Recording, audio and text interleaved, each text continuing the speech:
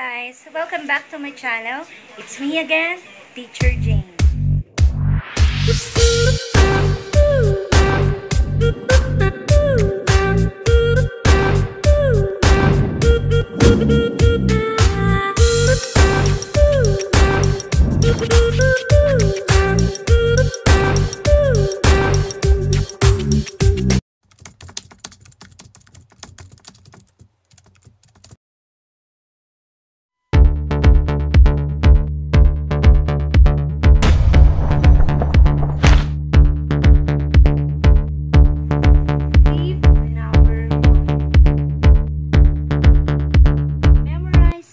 Multiplication table. Have confidence.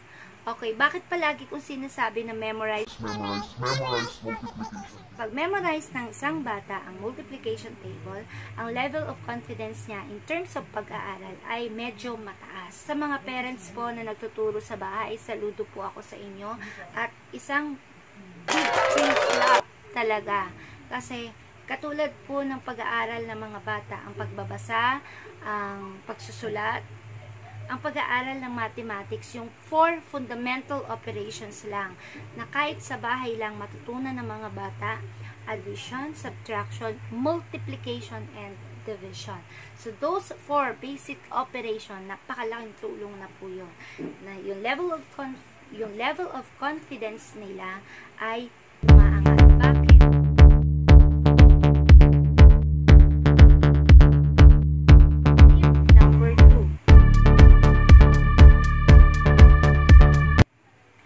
Have a proper mindset, meaning focus. Sa dapat sa pag-aaral ng mathematics, naka-mindset ka talaga na mag-aaral ka ng math ngayon. Katulad nga last time, sabi ko sa inyo, kapag uh, nagme-memorize ng multiplication table, dapat gusto mo. Dapat willing ka.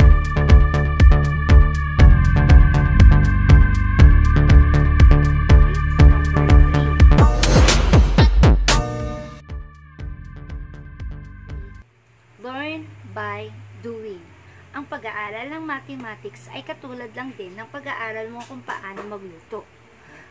Kailangan hindi lang alam mo ang sangkap, alam mo rin dapat i-apply. Hindi porke alam mo na yung sangkap, memorize mo na yung steps kung paano mo gagawin, pero hindi mo in, hindi mismong ikaw ang nag-try or magsumubok magluto, ah, hindi ka magiging successful. So, ganun din sa pag-aaral ng driving. Hindi ka matututong mag-drive ng sasakyan or ng kotse or ng motorsiklo kung hindi ka mismo mag-aaral. So, ganun din po ang pag-aaral sa mathematics. You learn by doing.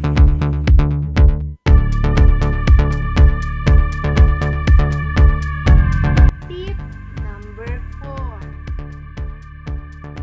A math wizard friend. Okay. Have a math wizard friend. So, pag sinabi kong math wizard, hindi naman talaga yung nangangain talaga ng numero. What I mean is, mag, mag, makipagkaibigan ka sa marunong na madaling makaintindi sa math. So, hindi lang naman pag sinabing kaibigan, kaibigan na pwedeng kaklase. Pwedeng kaibigan sa ibang section. Pag wala pa rin, pwedeng kaibigan na nasa bahay. Kapitbahay, nanay, tatay, kamag-anak. Kung wala pa rin, andyan ang social media. Panoorin mo ang YouTube ni Ma'am Rueda.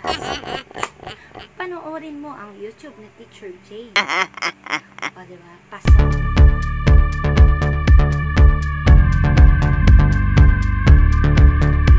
Number five. Believe in yourself. If others can, why can't you? Trust yourself.